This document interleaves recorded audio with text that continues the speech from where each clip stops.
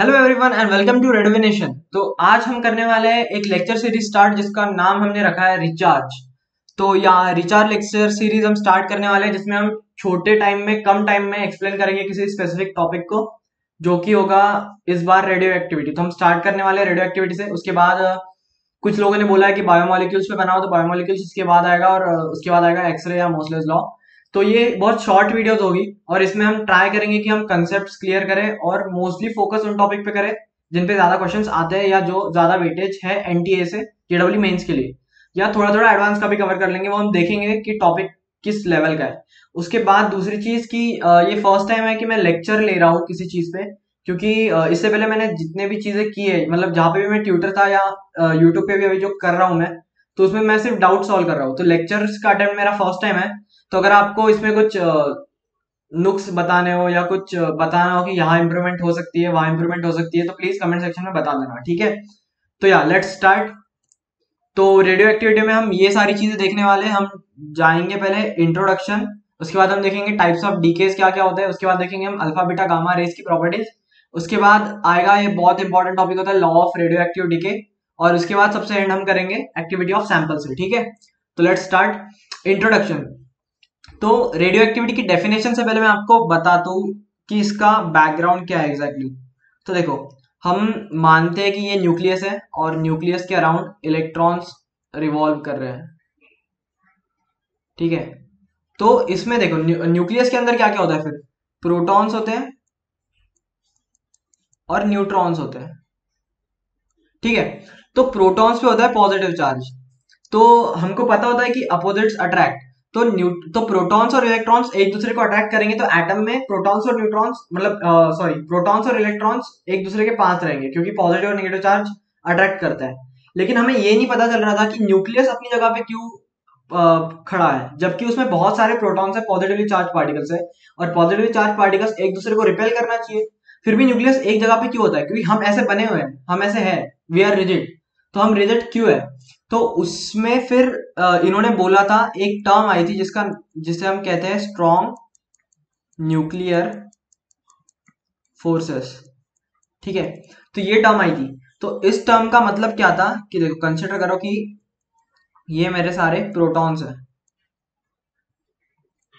और इनमें फिर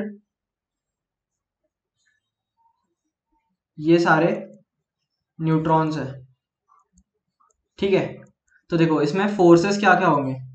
देखो, सबसे पहले तो होगा कि ये जो पॉजिटिवली चार्ज है, ये एक दूसरे को रिपेल करेंगे इलेक्ट्रोस्टैटिक रिपल्शन से।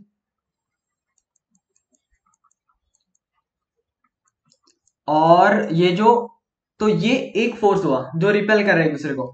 और एक स्ट्रॉन्ग न्यूक्लियर फोर्स है जो इस, इन सबको एक दूसरे की तरफ़ खींच के रखता है, जो इन सबको बाउंडेड रखता है। तो उसे हमने बोला था स्ट्रॉन्ग न्यूक्लियर फोर्सेस अब ये स्टेबल हो गया। अब ये सिस्टम स्टेबल हो गया क्योंकि इलेक्ट्रोस्टैटिक रिपल्शन इनको दूर ढकेल रहा है और स्ट्रॉन्ग न्यूक्लियर फोर्स इनको ज्वाइन करके रखा है। ठीक है? तो ये चीज़ें तो स्टेबल होगी। लेकिन बहुत बार ऐसे होता है ड्यू टू साइज़ फैक्टर या बाकी फैक्टर्स भी होते हैं तो उन रीजन की वजह से कुछ एटम्स जो होते हैं, कुछ न्यूक्लाइड्स जो होते हैं, वो स्टेबल नहीं रह पाते हैं। बहुत बार ऐसा होता है कि उनके जो न्यूक्लियर फोर्सेस होते हैं, वो इतने स्ट्रांग नहीं होते कि वो उनको साथ रख पाए।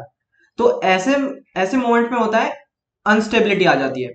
तो एटम्स अगर अनस्टेबल हो गए तो ऐसे वक्त फिर एटम्स क्या करते हैं? वो कुछ चीज़ें फिर छोड़ देते हैं जिससे वो वापस स्टेबल हो जाए। कुछ पार्टिकल्स छोड़ देते हैं, कुछ एनर्जी मिशन करते हैं जिससे वो स्टेबल हो जाए। और इस वक्त आता है ये टर्म जिसे हम बोलते हैं रेडियो एक्टिविटी ठीक है?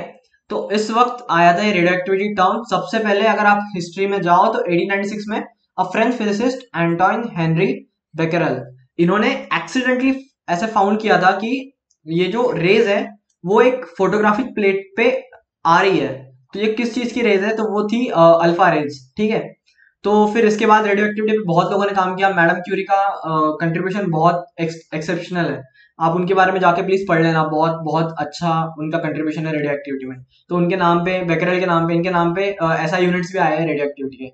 और ठीक है। तो हाँ तो रेडियो एक्टिविटी फिर क्या होता है? रेडियो एक्टिविटी में हम स्पॉन्टेनियसली रेडिएशन इमिट करता है कोई एलिमेंट ताकि वो स्टेबल हो जाए। और chemistry and physics in general पूरा universe it's all about stability universe expand भी इसीलिए हो रहा है क्योंकि उसको स्टेबल रहना है। उसकी पोटेंशियल एनर्जी उसको कम करनी है, ठीक है? उसको स्टेबल होना है, ठीक है? तो इसीलिए रेडियो एक्टिविटी वाला कंसेप्ट आया था। इसके बाद देखते हैं हम टाइप्स ऑफ़ डीकेज क्या क्या होते हैं। तो टाइप्स ऑफ़ डीकेज होते हैं अल्फ़ा डीके बीटा और गामा, ठीक है? और बीटा में दो आते हैं, एक आता है ए टाइप एक आता है बी टाइप ये आपको मैं बताऊँगा आगे तो जल्दी आगे मूव करते हैं। देखो अल्फ़ा डीके क्या होता है? अल्फ़ा डीके कब होता है? पहले ये देख लो, ये कब होता है? जब अगर न्यूक्लियस बहुत ज़्यादा बड़ा है। If the nucleus is large तो होगा अल्फ़ा डीके और अल्फ़ा डीके में क्या होता है? देखो, अगर ये मेरा पेरेंट आइटम है तो इसमें एक तो हीलियम जो आइटम होता है, वो बाहर आता है। फोर एच टू बाहर आता है। और इसमें से फिर जो डॉटर जो डॉटर एटम होता है मेरा, उसमें उसका जो कन्फिग्रेशन होता है, उसका एटमिक नंबर एटमिक नंबर में से हम टू माइनस करते हैं, क्योंकि यहाँ पे हीलियम में टू आ गया है, और उसके एटमिक मास नंबर से फोर माइनस करते हैं। देखो, यहाँ पे अगर एक्स है तो ऊपर ए और नीचे जेड होता है। ए मेरा होता है नंबर ऑफ़ न्यूक्लियॉन्स जिसे हम कहते हैं एटमिक मास नंबर और जेड होता है मेरा एटमिक नंबर ठीक है? तो अल्फ़ा देखो अल्फ़ा डीके में बस ये याद रखना है, अगर हीलियम यहाँ निकल रहा है तो मैं यहाँ पे जो पेरेंट एटम है उसके मैं एटमिक नंबर से और एटमिक मास नंबर से एटमिक नंबर से टू माइनस करूँगा और एटमिक मास नंबर से फोर माइनस करूँगा, ठीक है? बस ये देखना है, और ये कब होता है? अगर जनरली मेरा ए जो है ए मतलब एटमिक मास नंबर वो ग्रेटर देन 210 है। अल्फ़ा डीके हो गया, ठीक है, बढ़ते बीटा डीके की तरफ़ तो बीटा डीके कब होता है? तो इसमें दो होते हैं, एक होता है ए टाइप और एक होता है बी टाइप ए टाइप को हम लिखते हैं बीटा निगेटिव और बी टाइप को लिखते हैं बीटा पॉजिटिव बीटा पार्टिकल कुछ नहीं होता एक्चुअली इलेक्ट्रॉन ही होता है, ठीक है? तो इसमें ज़्यादा कंफ्यूज मत हो जाना कि बीटा पार्टिकल क्या होता है। इसके बाद ये ए टाइप वाला बीटा डीके जब, तब होता है जब एन बाई पी रेशियो बहुत ज़्यादा होता है मतलब हायर देन वन होता है। N by P is greater than one होता है। तो एन क्या होता है मेरा? नंबर ऑफ़ न्यूट्रॉन्स और पी क्या होता है मेरा? नंबर ऑफ़ प्रोटॉन्स ठीक है? तो इसके बाद हम देखते हैं, जैसे इस कंसेप्ट में आप देख लो, यहाँ पे आठ न्यूट्रॉन्स और छह प्रोटॉन्स है तो इसका एन बाई रेशियो वन से ज़्यादा है। तो ऐसे केस में क्या होता है, ऐसे केस में जो न्यूट्रॉन है मेरा, वो एक न्यूट्रॉन कन्वर्ट हो जाता है एक प्रोटॉन में, ठीक है? तो एक न्यूट्रॉन एक प्रोटॉन में कन्वर्ट होता है, और उसके साथ वो एक एंटी न्यूट्रिनो और एक इलेक्ट्रॉन देता है। तो आप पूछोगे कि ये एंटी न्यूट्रिनो और एक एक इलेक्ट्रॉन कहाँ से आया? तो इसमें ऐसा होता है कि देखो, जब मेरा न्यूट्रॉन प्रोटॉन में कन्वर्ट होगा तो एक इलेक्ट्रॉन निकलता है तो प्रोटॉन में कन्वर्ट हुआ मतलब न्यूट्रॉन का चार्ज तो ज़ीरो था तो यहाँ पे दो कंजर्वेशन होते हैं। एक एक कंजर्वेशन होता है चार्ज का और एक दूसरा कंजर्वेशन होता है लेप्टॉन नंबर का। लेप्टॉन नंबर थोड़ा हायर फिजिक्स वाला कंसेप्ट है तो मैं उसको पूरी तरह से तो एक्सप्लेन नहीं कर पाऊँगा, लेकिन इस केस में केस क्यों होता है, ये तो मैं आपको बता सकता हूँ। तो देखो, अगर न्यूट्रॉन मेरा ज़ीरो चार्ज था तो लेकिन अब मेरा एक प्रोटॉन का पॉजिटिव चार्ज बढ़ गया है तो उसको बैलेंस करने के लिए यहाँ पे एक इलेक्ट्रॉन आ गया निगेटिव चार्ज ठीक है? लेकिन अब इलेक्ट्रॉन का लेप्टॉन नंबर होता है प्लस वन ठीक है? तो अगर इलेक्ट्रॉन का लेप्टॉन नंबर प्लस वन है तो उसको बैलेंस करने के लिए एक एंटी न्यूट्रिनो आता है, जिसका लेप्टॉन नंबर होता है माइनस वन तो इसीलिए एक एंटी न्यूट्रिनो आता है इसमें, ठीक है? तो उसके बाद ए टाइप में मैं लिख सकता हूँ फिर कि इसमें न्यूट्रॉन टू प्रोटॉन कन्वर्शन होता है। और सिमिलरली यहाँ पे टाइप बी में भी वही होता है टाइप बी में उल्टा होता है बस। टाइप बी में मेरा प्रोटॉन न्यूट्रॉन में कन्वर्ट होगा। तो मेरा प्रोटॉन अगर न्यूट्रॉन में कन्वर्ट हो रहा है तो मेरा एक पॉजिटिव चार्ज कम हो रहा है। तो अगर मेरा पॉजिटिव पॉजिटिव चार्ज कम हो रहा है तो उसको बैलेंस करने के लिए यहाँ पे चार्ज बैलेंस के लिए एक पॉजिट्रॉन आ गया। और उसके बाद लेप्टॉन नंबर को बैलेंस करने के लिए एक न्यूट्रिनो आ गया। अब सबके लेप्टॉन नंबर अलग अलग होते हैं, वो मुझे भी एक्जैक्टली पता नहीं है। मैंने बस थोड़ा सा पढ़ा था तो वो आपको मैंने बता दिया। उसके बाद गामा डी के देखते हैं। देखो, गामा डी के में ऐसा होता है, गामा डी के जनरली तब होता है जब अल्फ़ा या बीटा डी के हो चुका हो। अगर अल्फ़ा डी के हो गया या बीटा डी के हो गया, और उसके बाद भी मेरा जो एटम है, जो पेरेंट एटम है पेरेंट न्यूक्लिया न्यूक्लिया है, वो अनस्टेबल है। तो वो स्टेबल होने के लिए क्या करता है? देखो जनरली ऐसा होता है कि अगर ये अनस्टेबल है तो ये ट्राई करता है कि ये कुछ फोटॉन्स या कुछ एनर्जी रिलीज़ कर दे, ताकि उसके इलेक्ट्रॉन हायर एनर्जी स्टेट से लोअर एनर्जी स्टेट में आ जाए, और वो स्टेबल हो जाए। और एक रेडिएशन निकलती है गामा रेडिएशन जिसे हम कहते हैं। तो देखो, इसमें ऐसा है कि यहाँ पे जनरली रिप्रेजेंट ऐसे करते हैं, इसको एस्ट्रिक से रिप्रेजेंट करते हैं अगर ये अनस्टेबल है तो। तो अगर मेरा पेरेंट अनस्टेबल है तो उसका atomic number atomic mass number दोनों सेम रहेगा। गामा रेज में कोई चेंज नहीं होता है। गामा रेज बस हाईली एनर्जेटिक होती है, ये याद रखना। हाईली एनर्जेटिक ठीक है? ये तीन चीज़ें होगी। इसके बाद कुछ प्रॉपर्टीज़ देखते हैं। देखो चार्ज अल्फ़ा पार्टिकल का होता है two times charge of proton और चार्ज ऑफ़ बीटा पार्टिकल्स होता है माइनस ई e, जो जो इलेक्ट्रॉन का चार्ज होता है वही होता है बस नेगेटिव माइनस ई होता है मतलब माइनस ई होता है. और गामा पार्टिकल्स का चार्ज तो न्यूट्रल होता है क्योंकि उन पर चार्ज नहीं होता है.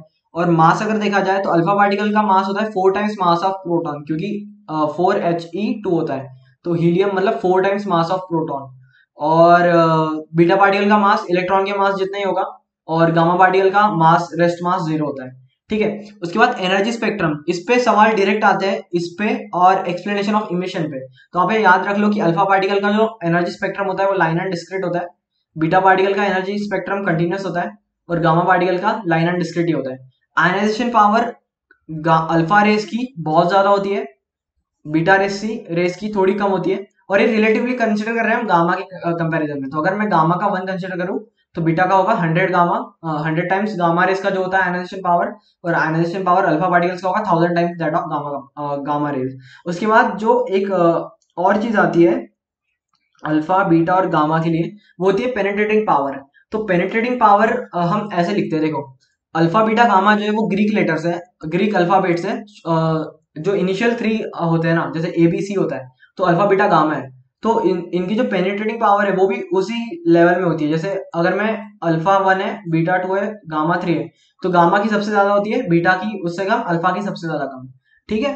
और सबसे फोर्थ होता है एक्सप्लेनेशन ऑफ़ इमिशन मतलब ये आ, कैसे हमने प्रूव किया कि अल्फ़ा रेज एग्जिस्ट करती है या किस एक्सपेरिमेंट से पता चला था फ़र्स्ट टाइम कि अल्फ़ा रेज होती है। तो इस पर डायरेक्ट सवाल आया था एक बार टनल इफ़ेक्ट वगैरह ऐसा कुछ पूछा था उन्होंने कि अल्फ़ा अल्फ़ा पार्टिकल्स कैसे पता चले थे। तो आप याद रख लेना कि अल्फ़ा पार्टिकल्स के लिए टनल इफ़ेक्ट होता है प्रूव करने के लिए। बीटा के लिए होता है वीक न्यूक्लियर इंटरेक्शन और गामा के लिए होता है एनर्जी लेवल इन न्यूक्लियस ठीक है? अब आते हैं बहुत इंपॉर्टेंट टॉपिक पे radioactive decay radioactive decay में हम, हमको क्या बोलता है कि the law states that at any instant the rate of radioactive disintegrations is directly proportional to the number of nuclei of the radioactive element present at that instant n क्या है? N है मेरा number of nuclei at that instant at time T मतलब उस time पे मेरे पास कितना radio active element present है उसको मैं एन लिखता हूँ ठीक है? और इनिशियल टाइम पे एन नॉट पे मैं उसको टाइम टी ज़ीरो पे मैं उसको एन नॉट कंसिडर करता हूँ। तो uh, इस इक्वेशन में ऐसा होता है कि अगर आप D N by D T को ऐसे लिख दो D N by N is equal to minus lambda D T फिर इसको इंटीग्रेट करोगे आप T is equal to zero से टी पे तो वो आएगा कि मेरा टी ज़ीरो पे ये था एन नॉट और टी एन पे होगा ये something N some T time T पे। तो इसको आप इंटीग्रेट वगैरह करोगे तो कोई एल एन वगैरह में टर्म आएगी और उसको आप फाइनली लिखोगे तो वो कुछ ऐसा आएगा। N is equal to N naught e to power minus lambda T जिसमें लैमडा मेरा होता है डी के कॉन्स्टेंट ठीक है? जिसे हम डी के कॉन्स्टेंट कहते हैं। ठीक है? तो ये एक चीज़ होती है। ये ये फॉर्मूला आप याद रख लो, इस पे बहुत क्वेश्चन आते हैं। मतलब मोस्टली फोकस आप वीडियो के इस पार्ट पे करना कि ये पार्ट आपको अच्छे से समझ जाए, ये फॉर्मूला आपको अच्छे से आ जाए। उसके बाद दो दो चीज़ें और होती है। एक होता है हाफ़ लाइफ एक होता है mean average life half life को हम लिखते हैं टी अंडरस्कोर एच और मीन एवरेज लाइफ को लिखते हैं हम टी अंडरस्कोर ए तो हाफ़ लाइफ के लिए हम कुछ नहीं करेंगे हाफ़ लाइफ के लिए बस हाफ़ लाइफ को हम डिफाइन करते हैं कि जब ये मेरा एन जो होता है नंबर ऑफ़ न्यूक्लाई वो हाफ़ हो गया, हो जाए इनिशियल के। तो इनिशियल में एन नॉट था तो हाफ़ हो जाएगा एन नॉट बाई टू तो इसके लिए जो टाइम आएगा मेरा, वो मैं हाफ़ लाइफ लिखता हूँ। तो हाफ़ लाइफ जनरली आती है L N two by seven तो एल एन टू होता है zero point six nine three तो zero point six nine three को approximately zero point seven consider करते हैं तो zero point seven by lambda उसके बाद टी ए जो होता है एवरेज लाइफ या मीन लाइफ उसका फॉर्मूला वन बाय लैमडा होता है, ये आप याद रख लो। इसका कुछ बड़ा फॉर्मूला है, लेकिन वो हम याद नहीं रखेंगे, हम बस याद रखेंगे कि मीन या एवरेज लाइफ होती है वन बाय लैमडा और एवरेज लाइफ और हाफ़ लाइफ में रिलेशन ये होता है कि average life is equal to one point four four times of half life ठीक है? इसके बाद एक्टिविटी या रेट तो एक्टिविटी को हम डिफाइन करते हैं A is equal to A naught into e power minus lambda T और एक्टिविटी का जो यूनिट होता है, वो होता है becquerel one decay per second उसके बाद रुदरफोर्ड और क्यूरी ये भी दो यूनिट्स होते हैं इसके एक्टिविटी के. तो एक्टिविटी का भी सेम ही फॉर्मूला है. जैसे एन होता है, बस एन की जगह हमने ए नॉट डाल दिया है ए डाल दिया है, ठीक है? तो एक्टिविटी भी सेम ही है. मैंने नोट्स में इसको अच्छे से एक्सप्लेन किया है वैसे. और उसके बाद अगर आपको कोई डाउट्स है तो मुझे ईमेल कर सकते हो, आप वेबसाइट पे विज़िट कर सकते हो या इंस्टाग्राम पे पूछ सकते हो, नीचे कमेंट सेक्शन में भी पूछ सकते हो। आपको वीडियो कैसा लगा प्लीज़ बता देना कमेंट सेक्शन में। मेरा फ़र्स्ट टाइम ये लेक्चर वीडियो है तो प्लीज़ अच्छे से सपोर्ट करना। उसके बाद इसके साथ मैंने, इसके डिस्क्रिप्शन में, इसके साथ मैंने जो नोट्स बनाई थी, जो मुझे समझने के लिए मैंने यूज़ की थी, वो भी अटैच कर दिए और ये जो लेक्चर स्लाइड्स है, ये भी अटैच कर लिए। तो आप आई होप कि आपको ये यूजफुल रहा होगा। तो मिलते हैं इसके अगले सेशन में। Okay bye